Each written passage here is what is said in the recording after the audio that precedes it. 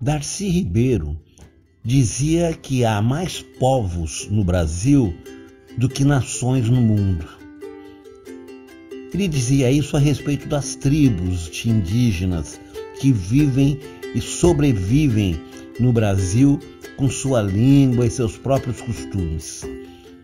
Darcy dizia ainda que o bom mesmo seria permanecermos índios para vivermos para sempre tranquilos e felizes.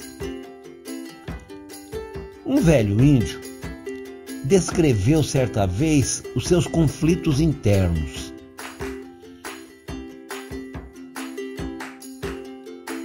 Dentro de mim existem dois cachorros. Um deles é cruel e mau. O outro é bom, muito bom e dócil. E eles estão sempre a brigar. Quando então lhe perguntaram qual dos dois cachorros ganharia a briga, o índio parou, refletiu e respondeu: Aquele que eu alimentar. Seja índio, seja civilizado. Alimentem o bom cachorro que vive dentro de cada um de vocês.